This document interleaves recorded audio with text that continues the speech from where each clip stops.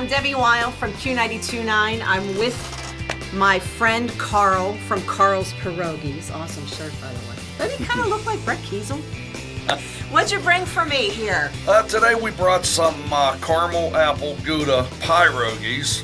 It's a dessert pierogi uh, filled with uh, apples, and the outside is, is a flaky pastry, along with uh, cinnamon and gouda, and an apple topping it off. You know, a way to a woman's heart is definitely in Pittsburgh is a pierogi. Oh yes, and then especially a dessert pierogi. So no, you are going to be bringing dessert pierogies to Recipe for Hope, which is why we're here, is why we're telling you about this. It's coming up April 9th. That's a Saturday. It's at Mayernik Center in the North Hills on Camp Horne Road. One of my new favorite charities, hairpeace.org, which helps women going through chemo who lose their hair to get wigs. Thank you, Bonnie Diver. It's a great charity.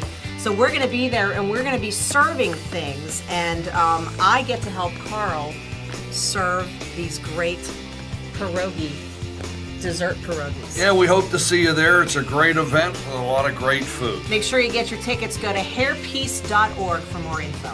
We'll see you there. I'm going to take a bite, all right?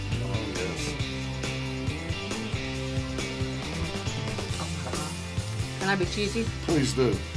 It's Gouda. Try one. We'll see you there.